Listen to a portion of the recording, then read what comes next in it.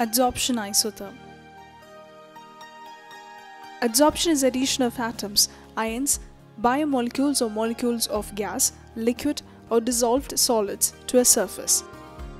It differs from adsorption in which a fluid permeates or is dissolved by a liquid or solid.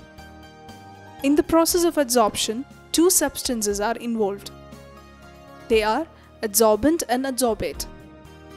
Adsorption is usually described through isotherms, that is functions which connect the amount of adsorbate on the adsorbent with its pressure, if it's gas, or concentration for the liquid, namely Freundlich isotherm, Langmuir isotherm, BET isotherm, etc.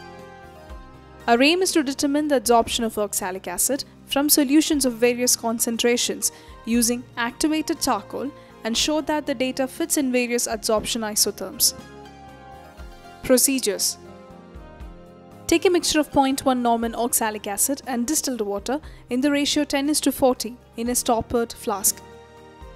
Similarly, take this mixture in the three other stopped flasks in the ratio 20 is to 30, 30 is to 20, 40 is to 10 respectively. Take 50 ml oxalic acid in another conical flask.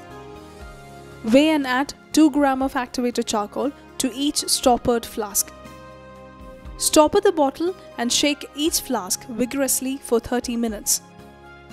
Then each of the flask is kept for 1 hour. Filter each solution using different funnels and filter papers into separate conical flask. Add 10 ml of 2 normal H2SO4 to the filtrate. Heat the solution for 5 minutes.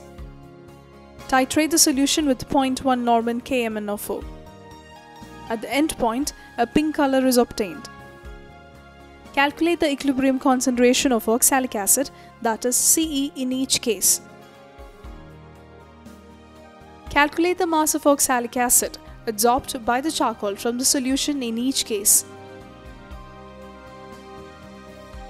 Now the result. Plot CE per X per M against CE to verify Langmuir adsorption isotherms.